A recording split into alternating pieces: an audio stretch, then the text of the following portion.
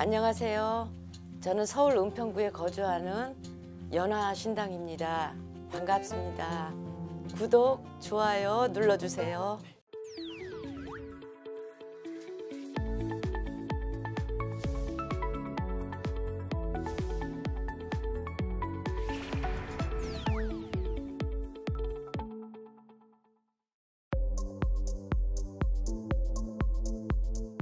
어느 날이요.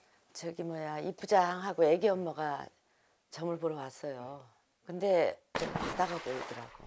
어 그래서 이 바다가 보이는데 왜 그러냐 그랬더니 한 30분을 펑펑 우는 거예요.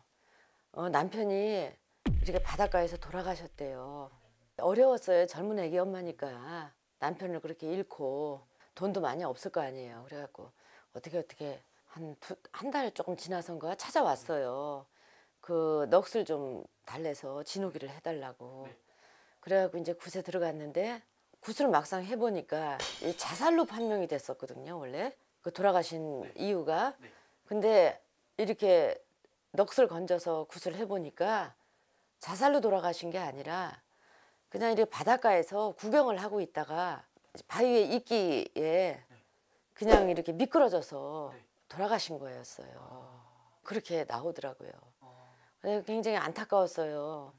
예, 안타깝고 또 이렇게 그 울던 모습이 생각나고 또 어린 아기가 있으니까 사는 것도 또 막막할 거 아니에요. 그래갖고 천도를 잘해줘갖고 지금은 잘 살고 있어요. 예, 근데 기억에 남아요. 어, 그분이 그 아내분이 점사를 딱 보러 왔을 때는 예, 그러면 선생님이 딱 왔을 때 뭔가 바다가 바다가 보이더라고요. 그래서 바다가 왜 보이냐고 바닷가가 보이고 남자 하나가 서 있다. 그렇게 근데 왜 그러냐 그렇게 물어봤죠. 그랬더니 바다에서 자살을 하셨다. 그렇게 얘기를 하더라고요. 어떻게 그게 보일 수가 있냐고 그 사람은 신기했던 거죠. 그래갖고 그렇게 천도해주고 지금은 그 애기랑 잘 살고 있어요. 아 그럼 실제로 선생님은 손님이 오시면은 예. 주로 이렇게 어, 생년월일 넣는다지 그게 아니라 딱 봤을 때 영적으로 딱 보이시는 거예요? 예, 그렇죠. 아, 영적으로 이렇게 보이고 열 사람이 한 명은 또 안 보이고 아. 그래요. 예.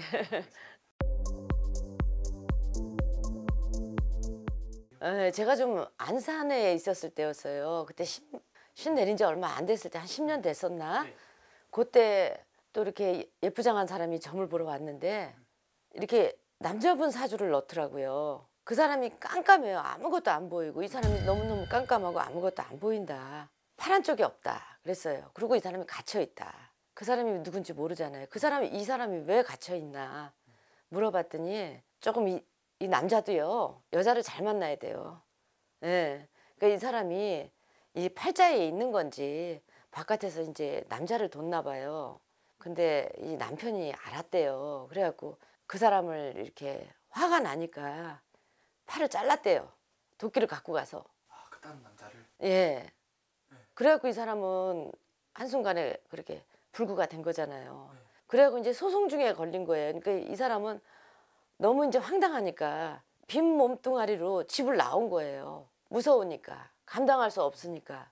그래갖고 점을 보러 왔던 거예요. 지갑에 몇만 원 들고 그냥 맨발로 그냥 도망 나왔대요. 예. 그래서 그분이 좀 안타까웠어요. 글쎄 그 뒤로는요 지금 몇 번은 왔어요. 근데 이제 살기가 퍽퍽하죠. 맨 몸뚱이로 나왔으니까 그게 기억이 좀 나는데 조금 조금 좀 험하죠 이 내, 내용이. 영점이란 게 정확히 어떻게 보는 건지 예, 0점이라는 거는 신령님이 말씀해 주시는 거죠. 아 이분이 뭐 때문에 왔나, 뭐가 보이는가 그걸 말씀해 주시는 거죠.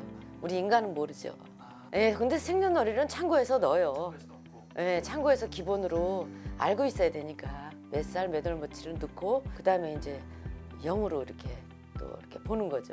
뭐가 보이는 거에 얘기를 하- 해드리는 거죠.